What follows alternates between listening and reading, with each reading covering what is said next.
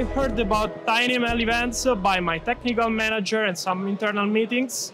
So I'm very excited to be here because uh, the tiny machine learning is what I do for work. So it will be very interesting for also collaborations, networking with other companies, uh, all this kind of stuff. I see a lot of enthusiasm about the world of TinyML, the world of uh, trying to apply artificial intelligence in real world use cases uh, on the edge.